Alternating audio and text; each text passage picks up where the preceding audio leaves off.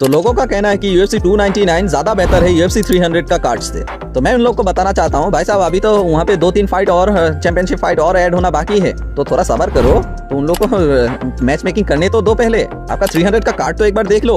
Bantam weight सबसे bantam weight division में सबसे पहले फाइट होगा आपका डेविसन फिग्रेडो वर्सेस कोडी गार्बेंट के बीच में। दोनों फॉर्मर चैंपियन है। देख लो कौन फाइट कर रहा है पहले। लाइट वेट डिवीज़न में आपका former champion Charles Oliveira versus Tsarukyan है। चार्ल्स ओलिवेरा को तो आप लोग जानते ही हो। लोग पागल है इसका और इस्लाम का दोबारा फाइट देखने के लिए। इस्लाम का अगर इंजरी नहीं होता तो इसका फाइट इस्लाम का साथ ही होता। अरमान शाहरुखियन लोग अरमान शाहरुखियन को ही ले लो। लोग सोच रहा है कि यही एक बंदा है जो इस्लाम अकाचेब को डिथ्रोन कर सकता है। मैं भी सोच रहा हूँ कि अरमान शाहरुखियन ही एक वैसा बंदा होगा जो इस्लाम अकाचेब को हरा सकता है। तो इन दोनों का फाइट है। नेक्स्ट आपका देखो मिडिल वेट डिवीज़न में बो निकल वर्सेस कोडी ब्रुंडेज देखो भाई क्या क्या फाइट ऐड किया हुआ है। बो निकल अभी तक अनडिफीटेड है। सभी कह रहा है कि खामजा चिमैच जैसा इसका स्टाइल है। रेसलिंग ग्रैपलिंग सब है स्ट्राइकिंग सब है।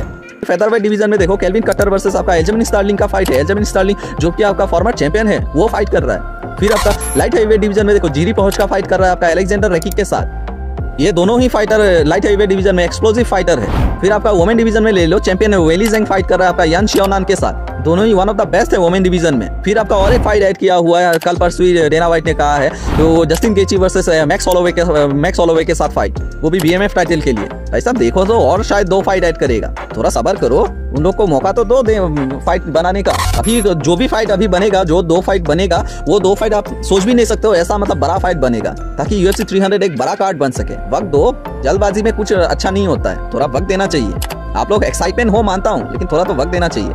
तो ये मेरा ओपिनियन था। आपको, आप लोग का अगर बुरा लगा है तो सॉरी बस ये मेरा कहना था। लोगों का मतलब जो मतलब पॉइंट ऑफ़ व्यू है कि यू एफ़ से टू ज़्यादा अच्छा है आपका थ्री से। तो उसका ऊपर जवाब देना चाहता था मैं। तो इसी की वजह से जवाब दिया हुआ तो आज के लिए इतना ही था। होप आपको ये वीडियो अच्छा लगा। अगर अच्छा लगा तो लाइक शेयर एंड सब्सक्राइब कीजिएगा। तो आज के लिए थैंक यू